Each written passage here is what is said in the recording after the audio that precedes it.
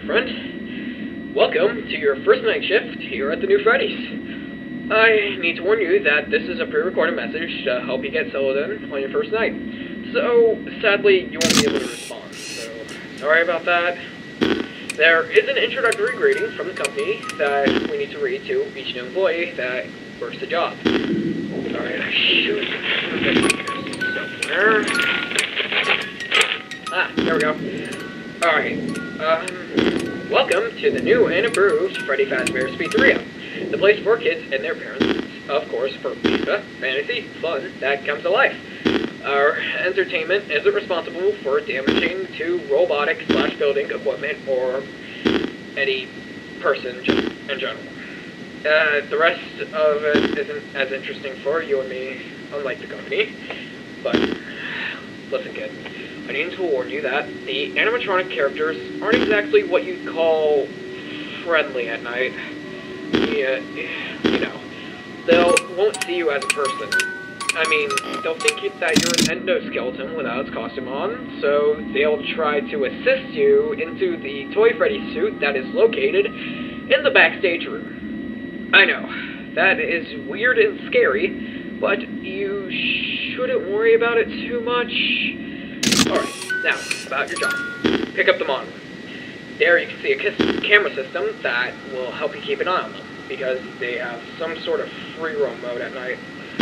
Of course, they move during the day, but listen, it's really scary to see that a two meter sized bear is going to come to you saying, oh, hello. So, watch the cameras frequently. It's important, but I will tell you one thing.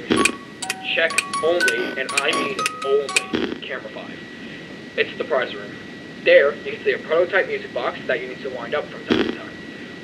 Of course, if you don't wind it, from time to time, it's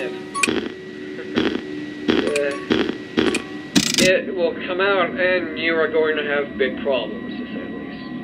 Oh yeah, about the doors. These doors are big metal plates activated by the buttons on the walls. But, unfortunately, they run on energy, so you put two batteries for each of them. If they run out, use the lever behind you to want to refill the generators for them. But remember, you can only use it once. That's all I should explain to you for today. Check the cameras, shut the doors if necessary, and wind up that music box from time to time. Well, good luck. I'll be waiting for you tomorrow.